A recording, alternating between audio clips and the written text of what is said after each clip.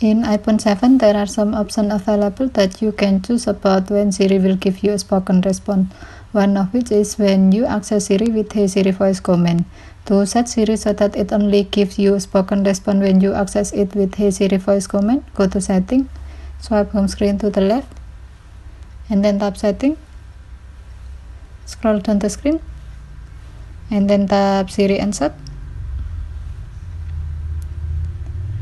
Tap Siri Respond and then select only with Hey Siri.